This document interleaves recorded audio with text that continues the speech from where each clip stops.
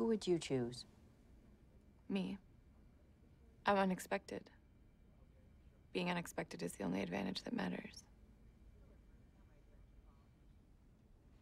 But you chose Tom. Why do you say that?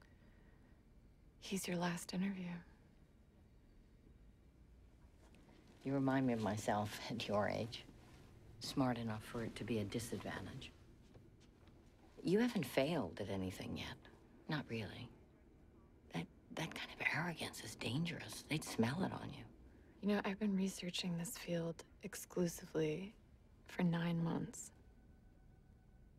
You had a, a goldfish as a kid? hmm?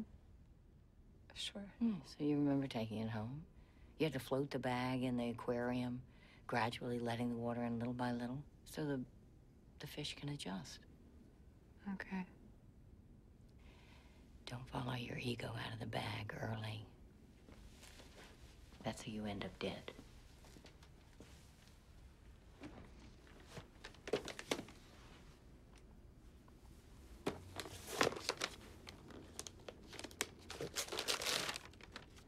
You put your first choice in the middle because to put it last is expected.